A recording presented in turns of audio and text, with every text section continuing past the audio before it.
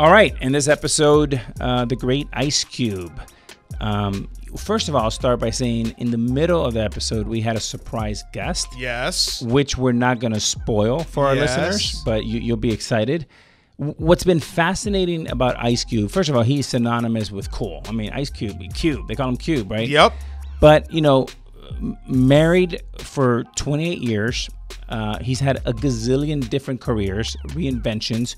He has a PhD in pivoting, and he's been successful in so many different silos.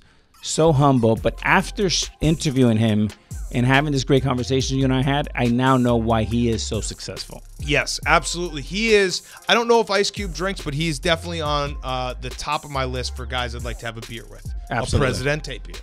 Again, nailed Love you it. again with it. Uh, Presidente beer is the corp uh, sponsor. We love Presidente beer. A Rod's been drinking Presidente beer all summer long. If you are enjoying your summer, last couple weeks of summer, make sure that you get a nice, cold, refreshing Presidente beer. Arod uh, is the uh, Presidente chairman. You know that it's his go-to beer, and you need to check it out. Maybe it's not even uh, summer anymore. Maybe you're listening to this and it's already fall. It's already football season. Presidente beer. Boom. We're actually gonna have. I want to have you come to the gambling cave this fall and watch a Sunday slate of games, and we'll have some Presidente beers. I will bring buckets of Presidente beer. I love it. I love it. So I'm we're in. to do that. Um, and we have a special giveaway for lucky fans. Some amazing prizes. Presidente beer for a year. A signed baseball by uh, myself and A-Rod. Presidente swag and the Corp swag. And here's what you have to do to enter. You must be 21 plus, and you must be following at A-Rod, at A-Rod Corp, and at Presidente underscore USA on social media and must text your name and why you should win to Alex's personal phone number 305-690-0485. The beer is 100% corp certified and approved and we love our Presidente beer. So Ice Cube, we taped Ice Cube. I think it was mid-April. It was on Zoom. It was before um, uh, George Floyd and a lot of the protests that swept across the country. So that's why that was not mentioned in this episode, just to give people a little background. But yes, an unbelievable career. The fact that he has been able to do so much um, for so long is so incredibly rare and admirable. I, I just think about all the time about how people have careers that, uh, you know, if, if it lasts five, ten years, they're like, that's a success. Ice Cube's been doing it for like three, four decades, and now he's got the big three and movies, and he just keeps finding ways to push the envelope and then reinvent himself and find new ways to create. Yeah, it's hard to be great at everything music, movies, now business, and just a great leader in his community. Yes, and we talked about his leadership style, what he looks for in uh, people on his team now that he's running the big three. Um, really cool insight into the business side of Ice Cube, what makes him tick, and how he stays successful. Uh, before we get to Ice Cube, a quick word from our friends at SimpliSafe. You need the best in home security. You need SimpliSafe. Most trap you with high prices, tricky contracts, and lousy customer support. So while there are a lot of options out there, there's only one no-brainer: SimpliSafe. A-Rod needs SimpliSafe. I need SimpliSafe. A-Rod, this whole entire podcast started because I I kind of stalked you on Twitter. SimpliSafe would have shut that down. So Simply Safe is the best in home security. SimpliSafe's got everything you need to protect your home with none of the drawbacks of traditional home security. It's got an arsenal of sensors and cameras to blanket every room, window, and door, tailored specifically for your home. Professional monitoring keeps watch day and night, ready to send police, fire, or medical professionals if there's an emergency. And you can set it up yourself in under an hour. Just peel and stick the sensors exactly where you need them. No technician required. No contract, no pushy sales guy, no hidden fees, no fine print. All of this starts at just $15 a month. And I'm not the only one who thinks SimpliSafe is great. U.S. News and World Report named it the best overall home security of 2020. Try SimpliSafe today at simplisafe.com/corp. You get free shipping and a 60-day risk-free trial. There's nothing to lose. That's simplisafe.com/corp. And now, Ice Cube. You're listening to The Corp, presented by Barstool Sports. Okay, we now welcome on a very special guest to the Corp podcast. It is Ice Cube, who uh, has done a million different things. We'll get into all of them. But first of all, uh, thank you for joining us. And I wanted to start with the big three because it's not often that we get to talk to someone who's actually in the decision making uh, role for a sports league in the coronavirus world. So I know I saw you guys have delayed it a little bit. What's what's the status, and also what's the thought process on when we can get sports back and get the big three back and rolling? Well, I mean, you know, we wish we can go tomorrow, um, but we can't move faster than the government. Um, it's or the networks. You know, a couple of networks that you know we we wanted to to do this show, which is you know more or less a reality slash, um, you know, Big Brother meets Big Three um, show to try to bring sports back real fast. And um, you know, the networks is like, it's, it's no way we can put that show on, you know, anytime soon. So it's an issue where we're on one hand trying to pull the pull the networks and we're trying to to you know adhere to what the government is doing and you know abide by all the restrictions. So it's tough. You know, we're still trying to figure out exactly when everything is gonna open up. You know, we're kind of in a holding pattern, but but we're kind of cocked and ready to go as soon as somebody give us the word. Cube, so I want to follow up, Cat, on that, and and because it's such an interesting. I'm such a big fan of the Big Three. Um, kind of walk me through how you guys came up with this great concept. I mean, the idea of like we're getting older now, so running full court Big Cat is young; he can do it. But half court is great. Um, how did you guys come up with this concept? Well, it's kind of been sitting around there for years. You know, uh, three on three basketball has been played probably as long as basketball has been played. Um, but it's never been elevated to the professional level. And why? You know, what's the reason? It's it's faster. Um, it's not all that all that damn running. so you can really see guys use their skills. There's nowhere to hide, so you have to play deep. You know, uh, so it's always been something that's been looked at as a, you know, a backyard sport or something you do on the playground, but nothing you would ever do in a major arena. And we just want to change that. We think it's a great game. It's a great game to watch, fun to play. And with our new wrinkles, um, to me, it's an excellent sport. Uh, so that's why we stepped out this year and said we're we're actually not even playing three on three. It's fireball three. You know how how we got it set up is to me the perfect uh, calibration of the game. So it's been fun to and hard. You know, it's not it's not all fun. It's not all roses. Trying to you know, introduce a new sport and make sure it's, respected, uh, make sure the athletes are giving their all, and that is something that the competition is a high level. So, you know, it's been a, a uphill climb. You know, we're still pushing that ball uphill, that boulder, so to speak. And so um, it's just been, you know, fighting to let people know how great this sport is. And I think we've done a pretty good job when it comes to awareness.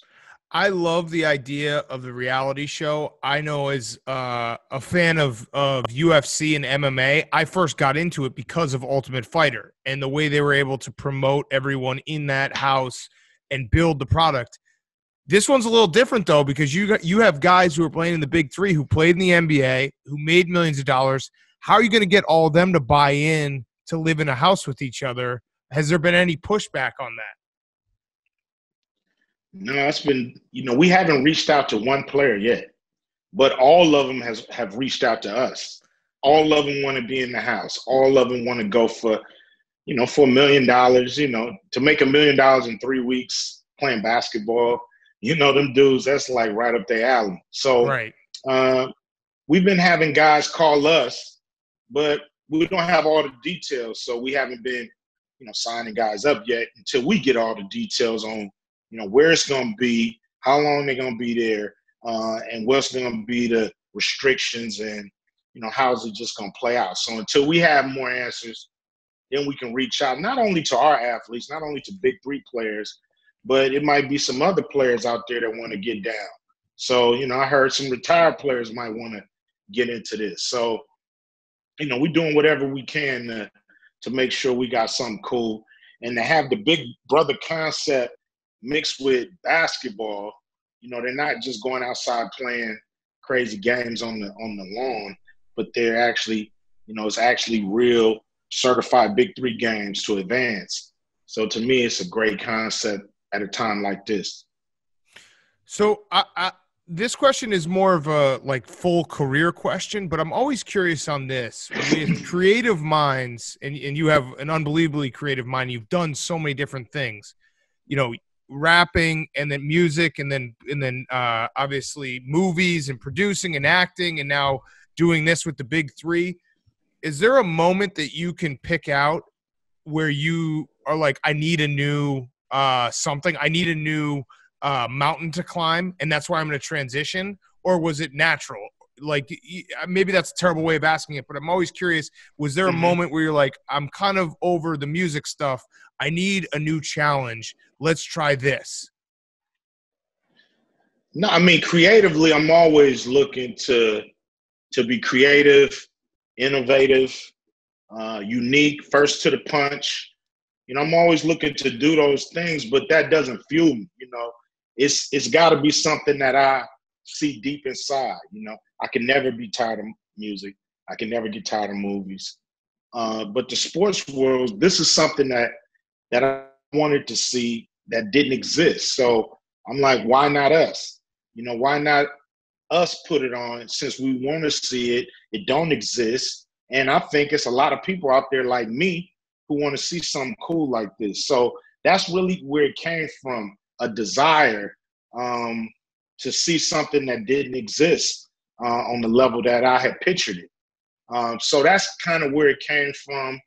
But me and my partner Jeff Kwatinetz, we worked on the concept for over a year um, with rules, uh, business uh, model, uh, really, you know, arguing about, you know, how things should play out, uh, coming up with innovative uh, wrinkles to the game, which we think are important to make sure that our game is fast paced. Um, it's faster than the NBA. Uh, so there's a lot of things that we feel, um, you know, we did to to create this. So it wasn't really a whim. It was more like, you know, if you build it, they will come. Mm-hmm. Dude, mm-hmm. you've been so successful at so many things, and you have a diverse set of portfolio and your businesses, but your talents are also diverse. I mean, from music to producing, you discovered Chris Tucker. Uh, you did a movie with Jennifer Anaconda. She's a huge fan of you. So is Benny. I mean, you got big, big supporters uh, in our family. All of us love your work and are big supporters of you and your family. But my question is when it comes to producing, acting, music, uh, business, can you let me know maybe one or two or three people that you looked up to that inspired Cube growing up as a young lad? I mean, I looked up to uh, Easy E. Um, you know, rest in peace. He's a guy who who came out the neighborhood, who was hustling, making money. You know, was making pl- plenty of, of money in the game, but he wanted to be legal. He he wanted to stop looking over his shoulder, and he use that same energy that he put into hustling into something uh, that was more positive, like making music and making a label. So he inspired me a lot. Uh, people like uh, Russell Simmons. I mean, this is a man who, you know, had a vision of taking hip hop from the streets to the highest of high in the music business, not just to do a record, but to take them to where, um, you know, Michael Jackson, uh, Beatles, Elvis, you know, all these, you know, stars had reached. He wanted to take rap to those heights. So very inspirational to me. Um, and my father, you know, my father put the work ethic in me. Uh, seeing him get up and uh, go to work, you know, um, he would do his thing and hang out and have fun, but he would still be ready to go to work the next morning and and um, I saw him get up early in the morning, and I saw him work two jobs sometimes. Um, I saw when he was, you know, when his when his uh, company went on strike that he worked for, him taking up jobs in the neighborhood um, and doing whatever it takes to provide. And so these are my inspirations coming up, man. How hard was it to leave NWA early in your career? Uh, and did you have any regrets at any moment? Because I think it's a really great business lesson of a young creative mind standing up for themselves. And that doesn't happen all the time. It's really hard thing to do to be like, you know what? Things aren't right. I'm going to stand up for myself. I'm going to fight for myself. Was that difficult? And was there that, those moments where you're like, man, I made a mistake here. I could have done the easy thing and just played along and probably gotten taken advantage of, but it would have been at least the easier path. I never wanted to leave. Um, you know, I was fighting that, but I felt like I was. The more I questioned, the more I was getting ostracized.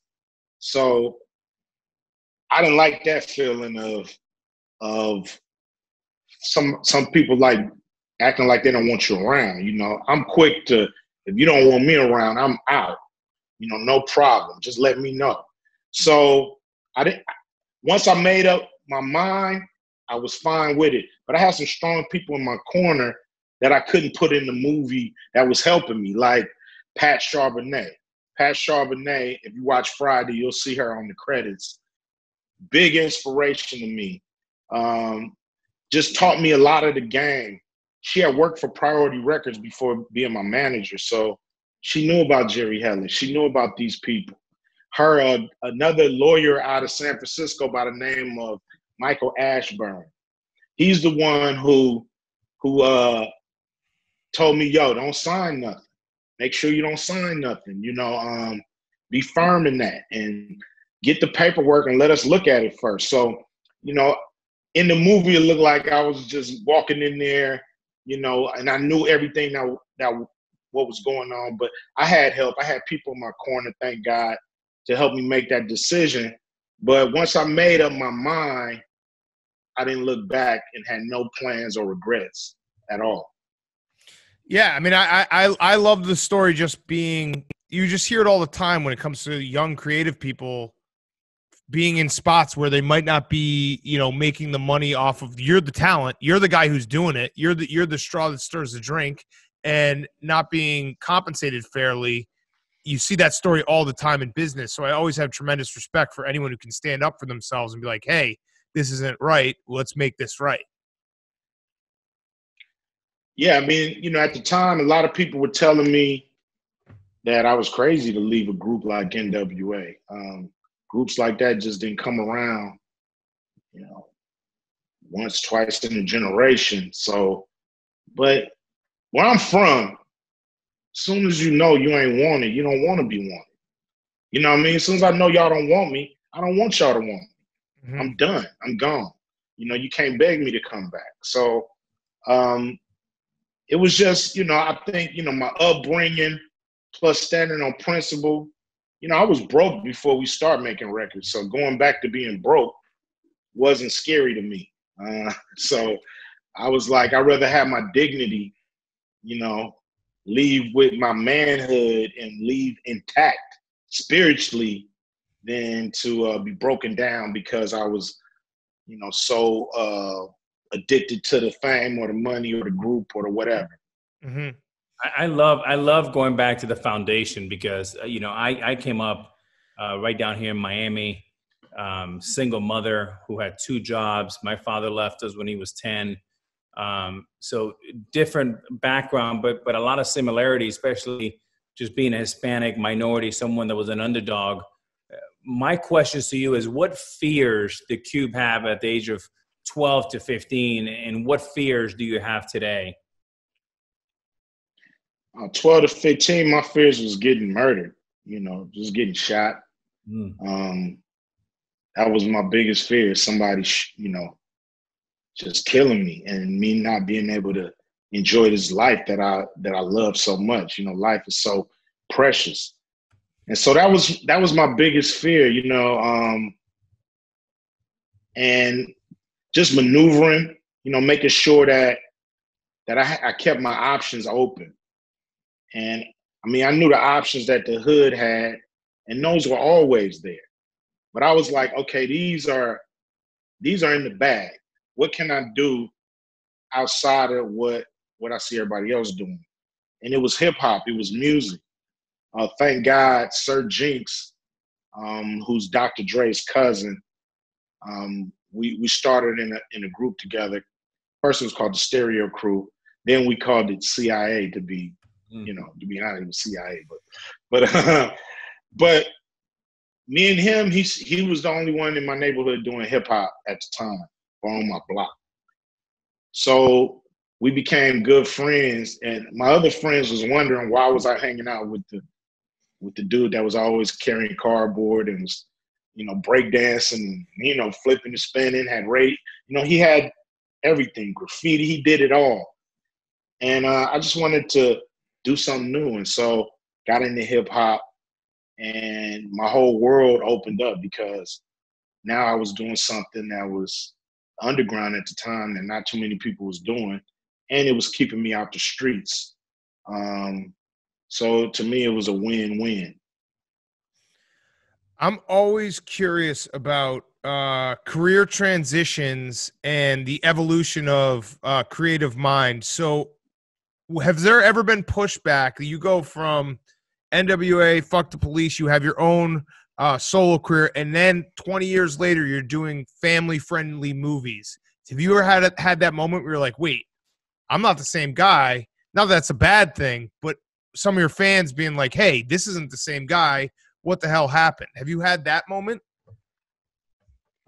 Not not in that way. You know, I understand people some people don't like change. They want you to be the same way every day and they don't mm-hmm. want you to evolve. You know, I started doing music when I was 15 years old, professionally about 16, 17. So I've been in the game a long time. You know, it was it was I, I had a long way to grow. But what I was doing and what to me was important was that America didn't judge a book by its cover or the world.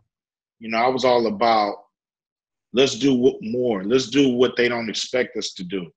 Let's show that given a chance, you could take somebody out the hood who's hardened by the world of the neighborhood and they can also be a productive, cool citizen in society. They don't have to be, you know, criminal or gang banger.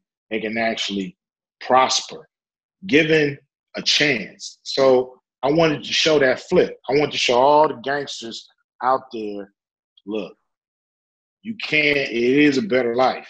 And it is a way to to change, you know, what are you really looking for in life? And it's usually the necessities of life. And once you get them, there's no reason to be like that no more. It's a reason to, to, to be right and do the right thing. So hopefully I'm an example. You know, I know people, you know, got like, yo, he went from here to here, but I'm gonna make another evolve that y'all probably ain't gonna be looking for. You know, I plan to keep evolving all the way till I'm out of here. So, you know, I don't mind it. I, love that because it is that push and pull if you're in the creative world where there's going to be people from day one who are like why are you you know selling out or why are you different? But uh, it's way more fascinating to watch people evolve and try new things and be successful at new things than do the same thing over and over for the rest of the time.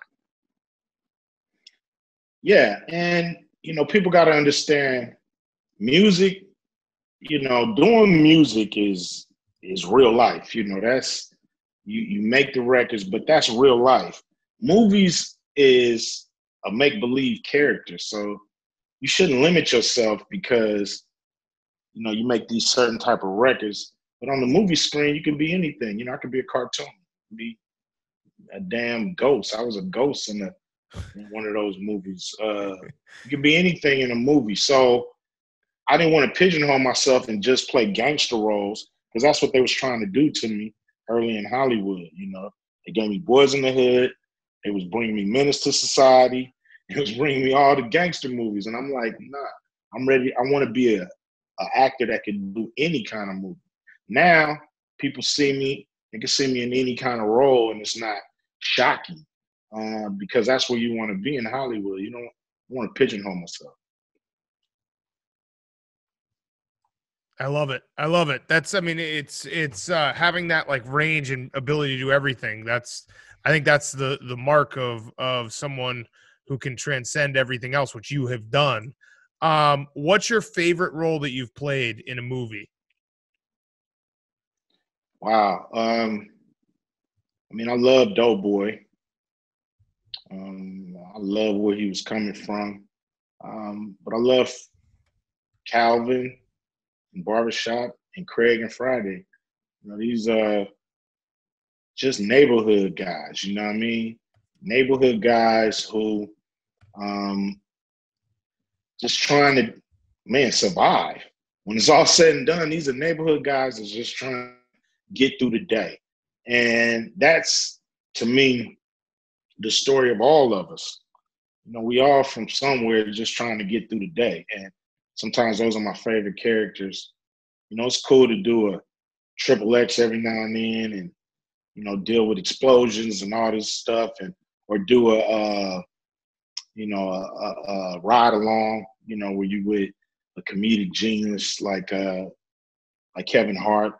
It, it's it's cool to do those and, and have fun, but you know, the down to earth, real characters are the ones that I like to play the most. Yeah, probably the ones people relate to the most too. Um, I read that you got your college degree in architectural drawing. Is that true?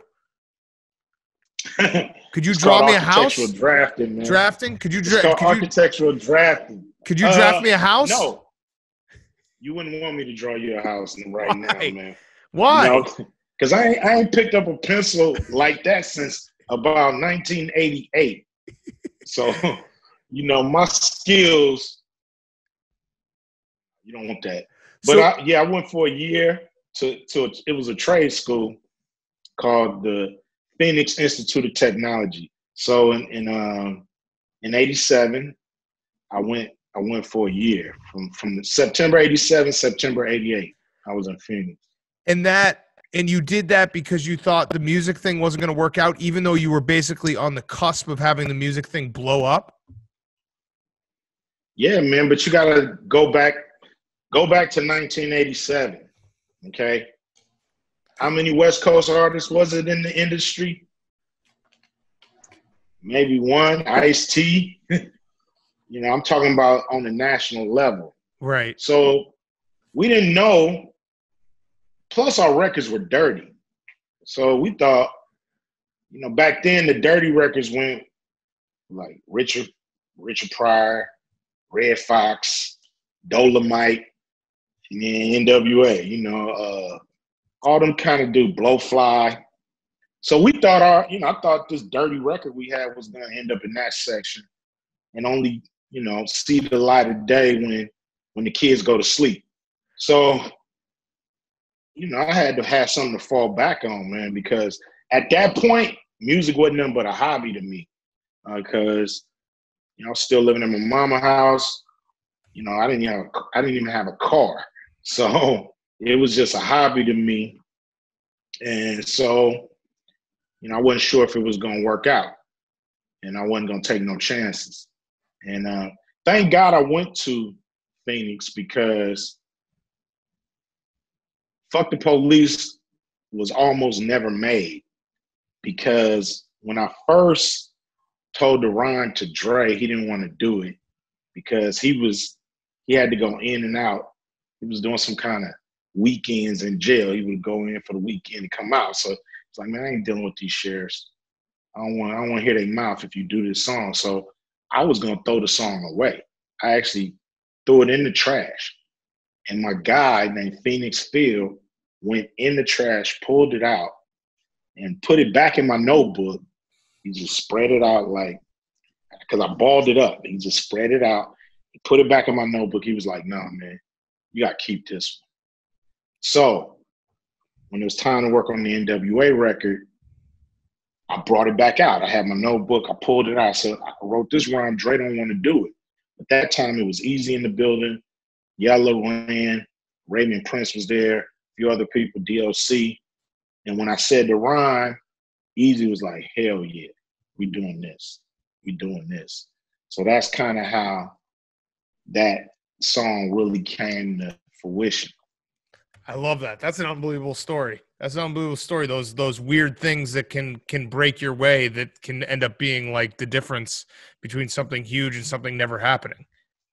Yeah, but I, I don't a doubt.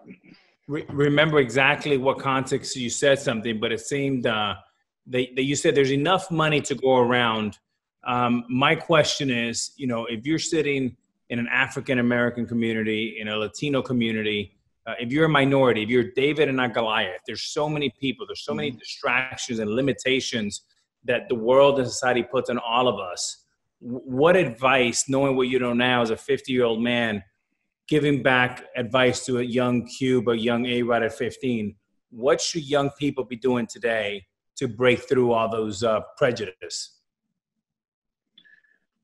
Well, first of all, you got to be strong. Uh, I would, I would, uh, you know, I would want Young Cube to probably take more, more youngsters under my wing, um, and just teach them the game, uh, so they don't run into the pitfalls. You know, the thing is, racism been here longer than us, and there's people in our lives that's dealt with it sometimes it's about talking to them and speaking to them and, and let and and and getting the information from the people who came before you that teaches you how to sidestep these pitfalls that's out here when it comes to racism.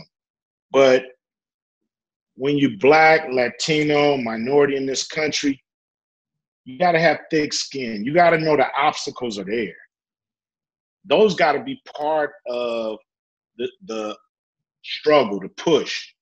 You got to do what it takes because those obstacles, you know, we're gonna try to wish them away, we're gonna try to pray them away, and they're still there. So the thing is, you got to go around it, over it, under it, or through it. Period. There's no, um, you know, you you cannot be defeated. You have to have that mindset. You got to have that determination. Um, and then I would say, find your true talent. You know, that's what I did. That's what you did. That's what we all got to do. We all are talented in, in some way, shape, or form. And it's up to you to discover that talent, nurture that talent, and try to perfect that talent. And you never know how far that talent will take you. Cat, I have a it's question. not always, yeah. Yeah, I have a question for both of you, but you talk about passion and determination, and I cannot help but to think about our friend Michael Jordan in The Last Dance. I'm curious to know first you, Cube, and then you, Big Cat. I want to know what you both think, because I've been so highly inspired and motivated by this brother because Michael was so good to me when I was a youngster, coming up at the age of 18, being in the major leagues in 18 with Ken Griffey Jr. and all the greats. But it was Michael who took me under his wing taught me about lifting, about good nutrition, about resting, about competing. Wondering how that resonates with you and, and, and you too, Big Cat. I mean, I love Michael Jordan. Um, you know, he's the kind of hero that you dream of. You know, somebody who does everything in his powers to win. Um, and I thank him for that dedication. Um, I thank his teammates for buying into it, the ones that did, um, and understand you know, to do anything hard or to do anything that's difficult, it brings a lot of stress. And you have to be able to take that stress.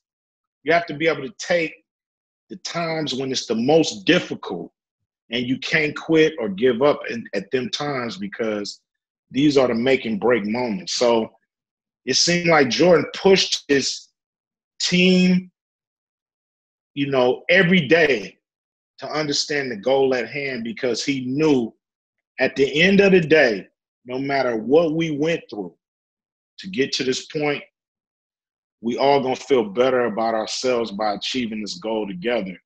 And we can walk through life with our head held high because we went through this fire. So, you know, only warriors, people that's been in the game, people that struggled you know, and understood defeat and and getting back up can understand that mentality. You know, um, when you're in a foxhole, man, there ain't no time to apologize, man. We apologize when we win the war.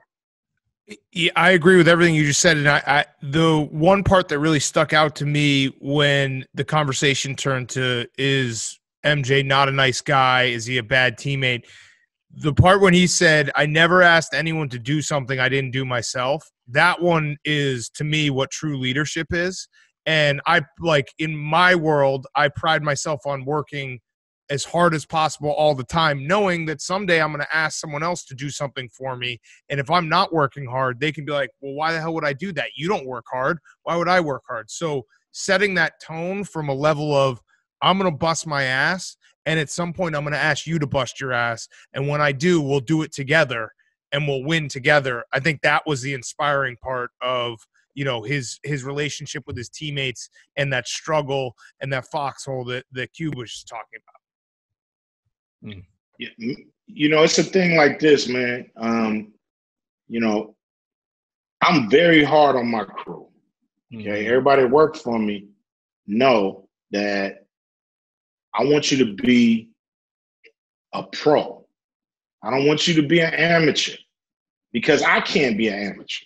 You know, I got to be a pro every time I'm in front of the camera, the mic, or whatever I do.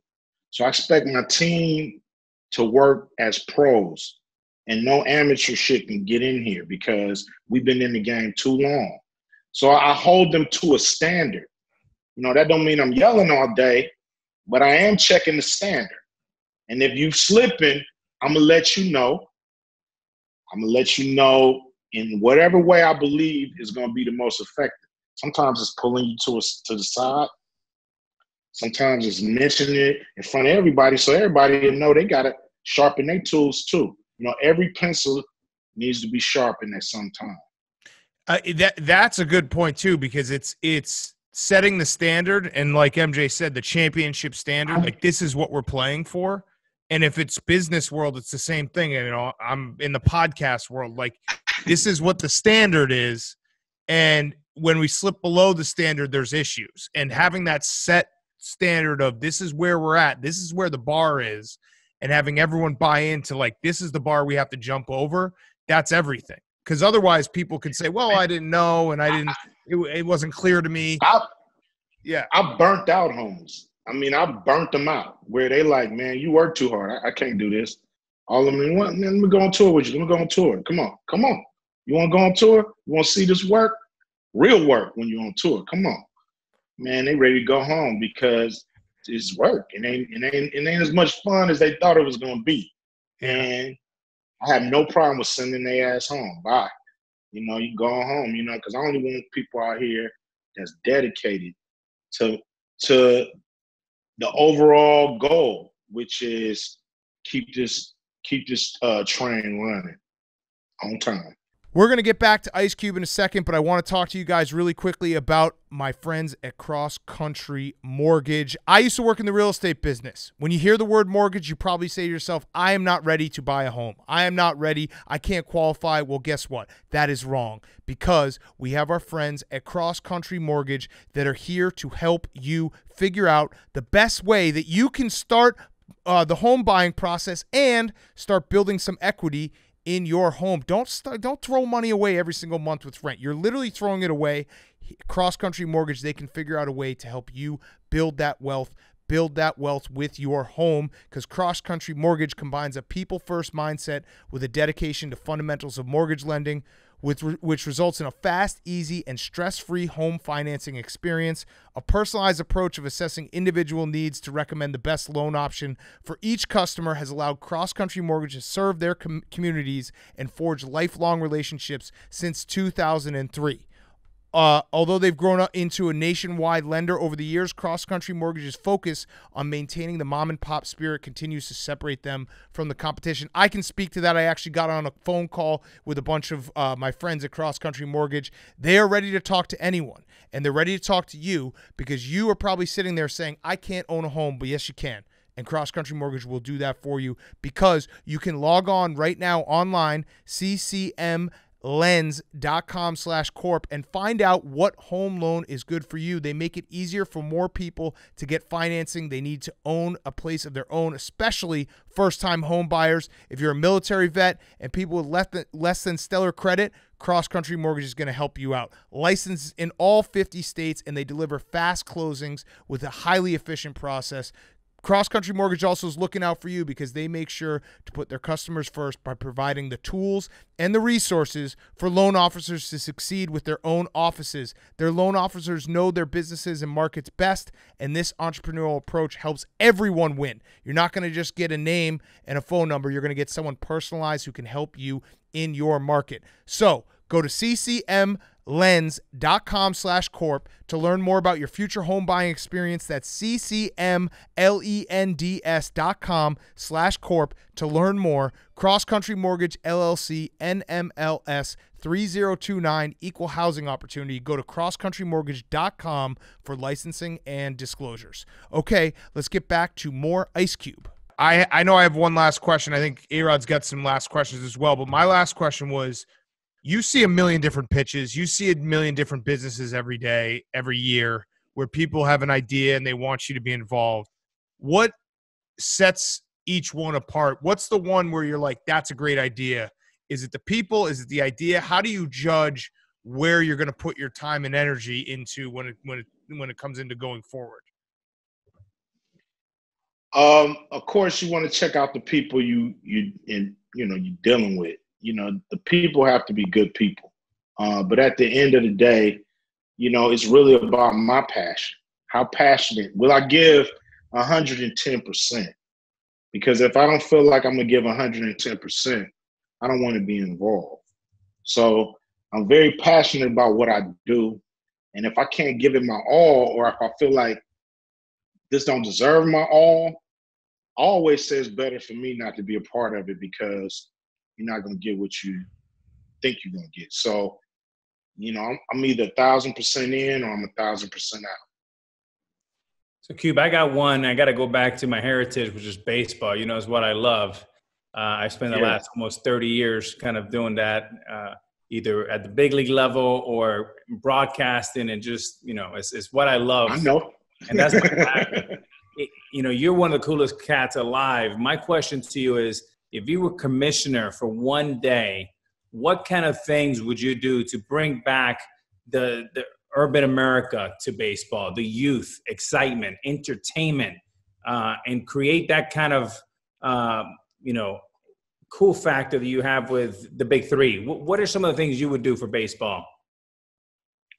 I mean, I would I would heavily invest into our parks and recreation when it comes to little league baseball in the inner city. Um, mm. When I was growing up, uh, it was everywhere. You know, all my friends played baseball. You know, I was a football, basketball guy, but all my friends played baseball. I used to love to go watch them play right up at Holly Park. And, you know, through the 80s, it just dwindled to nothing. Um, and so I just think that's that you know, we need to get that back. You know, we need to to mm-hmm. really focus on inner city, inner city little leagues, baseball, and uh, and making it affordable for the for the parents because you know you got to buy equipment here and there, but just you know you you got to do things to to to give it a bump, you know, because baseball. Is Whoa, hold up, hold up, hold up. I told you you had fans in the house. oh man, man, you know, I heard I heard it was a couple snakes down in uh, Brazil that need to be taken care of. You want to go? you want to go down there and grab a I never want to go back there. what year was that, man? No, we had the best time. We had a, a, a, actually an amazing summer, an amazing summer. We yes. got to know each other real well. And now it's Brazil. Didn't the fake snake almost kill someone? Both of us, but we both got out. Almost. yeah. Man, that snake, we were so terrified of that thing because because it would malfunction. It tore up the set one time, so we was like, man, this snake gonna kill us for real. So, so the Amazon don't, the snake will. Give Cube one good question for Cube. What do you have? What do you want to know? Uh, I, know I know everything about Cube. this man is amazing. Congratulations on the big three on everything that you've done. Thank you. I mean, I think right when we were when we were doing Anaconda, he was writing, I think Friday at the time, right? That summer. Yes. Yes. He was writing. I was doing a lot of writing. What are you writing all Yeah. the time? He's like, I'm writing a movie. Man. yeah, you know, I was uh bit by the bug. Uh, it was so cool. I remember us just amazed. We're like, look, you know, you got black and brown at the end of this movie, and we don't die. We were not killed first. So we knew, yeah, we knew this is a new day, and we and, and we had a special moment because we get a chance to kill the snake. So that was incredible, and uh, amazing movie. You're an amazing person. Y'all make an amazing couple. So Thank you. It is so good keep to doing see it. you. Keep doing it. You I too. good to too. I hope I get to see you soon when all this is over and we can get together and do something again. For sure. I'm with that. I'm Thank with you, that. baby. It's so good to see you. Send my love to Kim and everybody. Take it easy. We'll do. We'll do. Uh, well, Ice Cube, this has been awesome, man. Ara, do you have your quick questions? Do you have those, the rapid fire Yeah, I can questions? do a little. I can do a little rapid fire to yeah, close. do a couple of them. Let's finish with that. yeah. So, Cube, I got about seven or eight, just quick ones. Uh, what songs do you sing to yourself in the shower? Damn, in the shower. Wow. Uh man. I mean, I got a nice array of different songs, but it's probably something from the Isley Brothers. Okay, probably something from the Isley Brothers, man. But but you know, I'm it, sometimes things pop in my head, Ohio players might pop in my head. You know, I'm old school with it. I love it. What what apps are open? Uh, one app that's open in your iPhone right now. Uh, Instagram, you know, everybody on Instagram. Uh, everybody. on give me one one good book that you like that you recommend that meant something to you. Oh man, uh, nothing like. Uh, uh, I would I would go with "Message to the Black Man." Elijah Okay. Muhammad.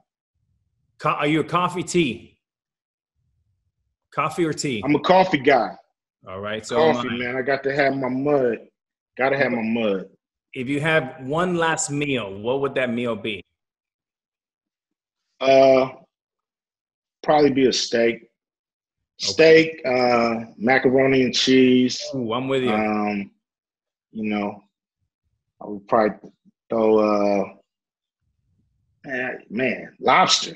It's my Hey. last meal, man. Got to have it with lobster. And what's a cocktail to wash it down?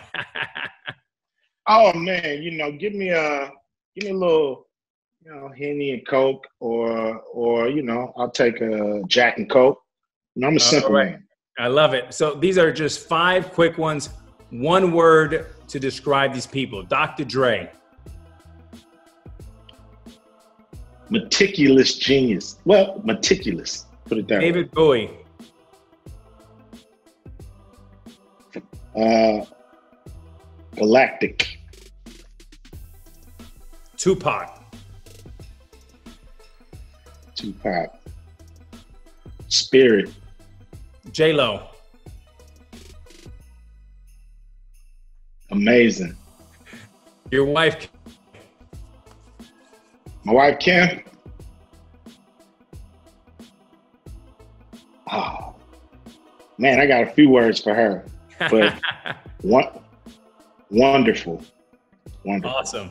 You passed the test. Cat, you can You close it, passed the test. Yeah, yeah. Thank you uh, so much, Cube. We really appreciate it. Everyone, check out the Big Three. We're waiting for it to come back, so we'll be uh, excited as soon as it does come back. We're excited about the reality show. It's going to be great.